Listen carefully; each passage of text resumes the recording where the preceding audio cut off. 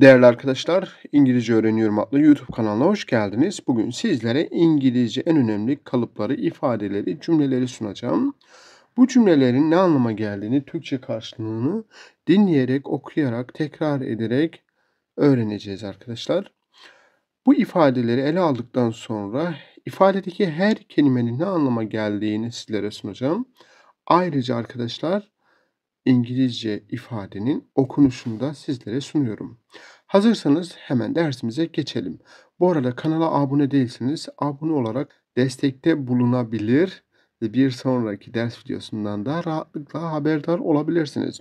Haydi o zaman sözü fazla uzatmadan dersimize geçelim. İngilizce'de bunu nasıl ifade ederiz? Bana bugün yardım edebilir misin? Bu Türkçe bir ifadedir. Bunu İngilizce nasıl söyleriz? Can you help me today? Can you help me today? I want you to help me. Please can you help me today? Okunuşunu görüyorsunuz arkadaşlar. Can you help me today? Bunu İngilizce bu şekilde ifade ederiz. Peki buradaki can ne anlama geliyor? Can e bilmek, yeterlilik anlamına geliyor. You sen demek. Help ise to help fiilinden hatırlayalım. Yardım etmek. Mi beni bana yönelme zamiridir. Today ise arkadaşlar bugün demektir. Can you help me today please? I want you to help me because I need help. Yes, I can help you. Don't worry man diyebilirsiniz. Değerli arkadaşlar, beğeni bırakarak kanaldaki ders videolarının diğer arkadaşlara da ulaşmasını sağlayabilirsiniz. Sana bugün yardım edeceğim. Burada planlı bir ifade var arkadaşlar. Will yerine am, is, are going to zaman dilimi kullanılıyor. I'm going to help you today. Bu da cevap olarak verilebilir. I am going to help you today. I burada ben demek. Am is are going to ise arkadaşlar gelecek zaman için kullanılan yardımcı fiildir. Ecek acak eklerine denk geliyor. Help to help fiilinden yardım etmek. You seni sana demek. Today ise bugün demektir. Tekrar edelim cümlemizi. Can you help me today dedik. Yes, I will help you. Yes, I am going to help you today. Don't worry because I am here for you. Değerli arkadaşlar, bir sonraki cümlemiz Kahveyi sütle severim. Kahveyi yani süt ile içerim. Sütle içmeyi severim. Bunu nasıl söyleriz? Like, hoşlanmak, sevmek, haz etmek fiilini hatırlayın. To like'dan. I like coffee with milk. I like coffee with milk deriz. Okunuşunu birlikte görüyoruz.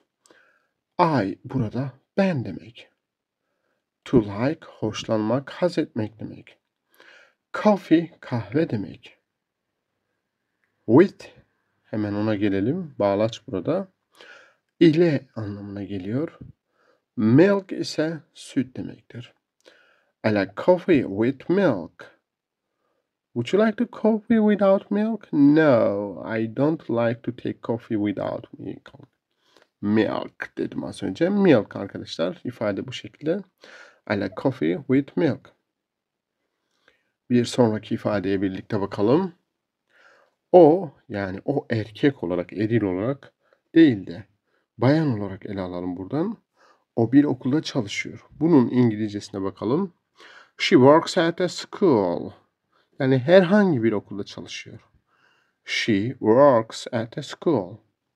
She burada o demek bayanlar için kullanılan üçüncü tek şahıs zamiri. Work, to work fiilinden hatırlayalım. S takısı alıyor. Öznenin üçüncü tek şahıslarında S takısı gelir fiile. Et de da bulunma zamiri değil de bulunma zarfı, yer zarfı burada arkadaşlar. E bir demek herhangi bir.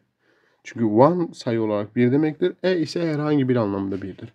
School ise arkadaşlar okul demektir. She works at a school. I know that she works at a school because someone said me about her. She works at a school diyebilirsiniz. Sevgili arkadaşlar, bugünkü ders videomuz bu kadardı. Devamını getireceğim ama atacağınız like'lara, beğenilere bağlı. Bu ders videosunu en az 100 beğeni ile kapatalım. Bir sonraki ders videosunda daha uzun, daha anlamlı, daha açıklayıcı, daha geniş, farklı cümlelerle sizin karşınızda olacağım. Kendinize iyi bakın. Görüşmek dileğiyle. See you next lesson.